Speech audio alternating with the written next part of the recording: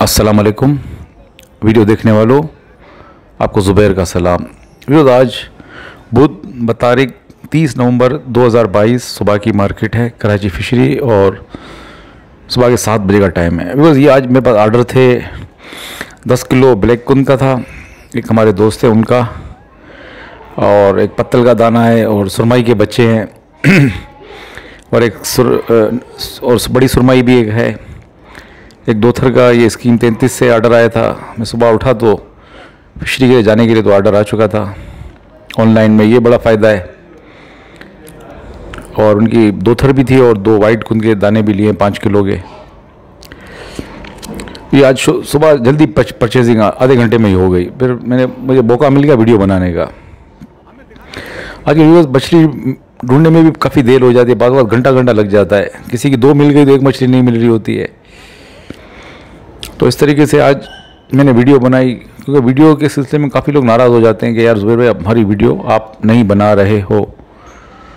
तो अब ज़ाहिर मुझे ख़ुद को इतनी देर हो जाती है, और फिशरी में रश बढ़ गया है। रश रश बढ़ने की वजह से जो है वो वीडियो बनाना मुश्किल हो हो जाता है। और किसी, एक मछली भी अगर किसी की रह गई, तीन मछलियाँ पता चला उसमें आधा घंटा निकल गया। अब ज़ाहिर है ऐसे तो आँखें बंद कर लेनी नहीं होती ना, अच्छी क्वालिटी की मछली होगी तो ही परचेज करनी होती है ना। तो आज मैंने वीडियो बना ली ना, जो हो सका, सबकी। बिकॉज़ ये ब्लैक कुन मैंने लिए हमारे दोस्त हैं आज़म टाउन से, अफजल, मलक अफजल आवान। और मेरे कुलीग भी रहे हैं, हमने एक ऑफ़िस में काम भी किया है। तो उन्होंने कहा यार ये मेरे लिए दस किलो लेके भेज दो। जुबैर भाई मैंने कहा यार ये मैं ब्लैक कुन आर्डर लेता नहीं हूँ। इसलिए कि अब अगर बीस तीस किलो के ही हो गए तो मछली उठाना मेरे लिए बड़ा मुश्किल हो जाता है। कटवाना फिर उसको ले जाना घर पे फिर वहाँ पे पैकिंग करना फिर वहाँ से बाइक के ज़रिए डिलीवर कराना।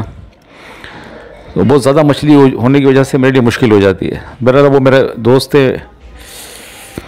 तो आज मैंने सुबह ये उनको भिजवा दी। और माशाल्लाह डंडा माल मिल गया सुबह में, जैसे ही फिशरी पहुँचा तो एक बड़ा अच्छा लाट मेरे को नज़र आ गया। दाना उठा के देखे, सारे डंडे दाने थे। तो ये मैंने व्यूअर्स उनको पाँच सौ के हिसाब से दिया है।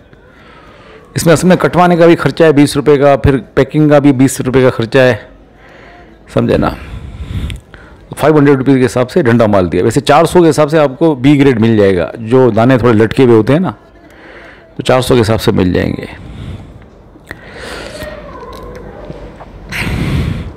ये तकरीबन 10 किलो 200 ग्राम के दाने थे मैं ख्याल ग्यारह दाने थे। लगभग किलो एक 900 ग्राम किलो किलो 100 एक दाना शायद पड़ा भी था, एक सवा किलो का था।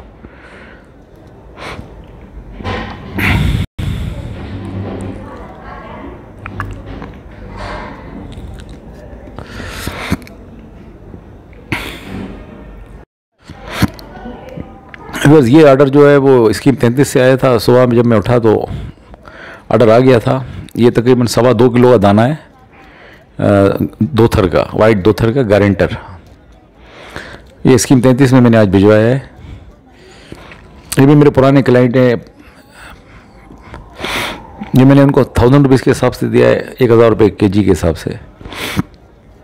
और दो दाने उनके वाइट कुंद के भी मैंने लिए हुए हैं। फाइव के जी के थे, तकरीबन। फोर पॉइंट नाइन के जी के दो दाने। तो ये उनका ऑर्डर था।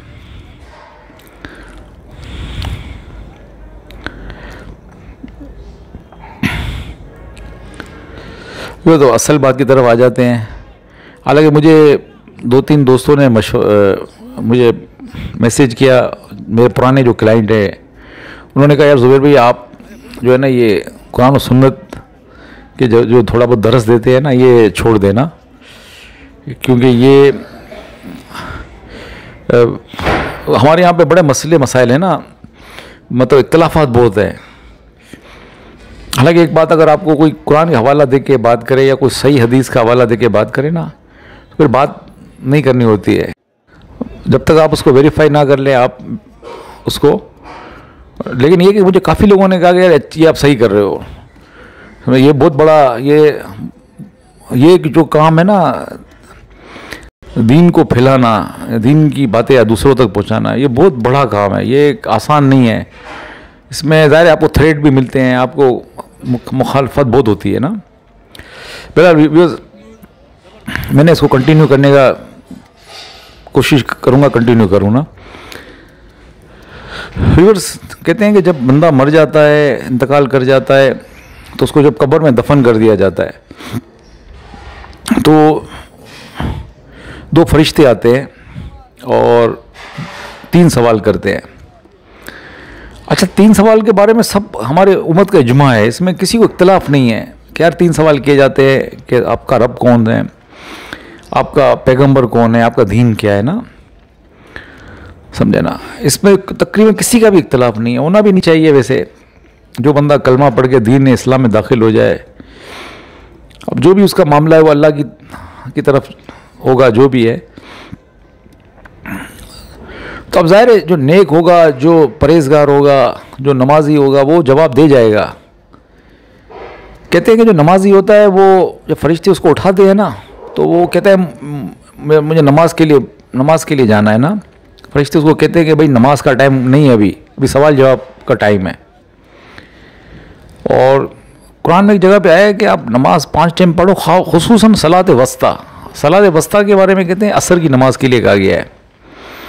तो वो नमाजी जो होता है, वो उसको लगता है कि असर का टाइम हो गया है। सूरज, समझे ना, इस तरह होता है कि उसको लगता है कि असर का टाइम हो गया है। इसीलिए असर की बड़ी फजीलत है ये। और जब जवाब दे जाता है तो फरिश्ते उसको मुबारकबाद देते हैं। और फिर उसको कहते हैं, ये तुम्हें कहाँ से पता चला? ये तरमीज़ी इबन माजा की हदीस है चौथी, चौथा सवाल भी है। तो कहता था, मैं दुनिया में जो है ना अमल करता था, कुरान पढ़ता था, नमाज़ पढ़ता था तो वहाँ से मुझे सब पता चला।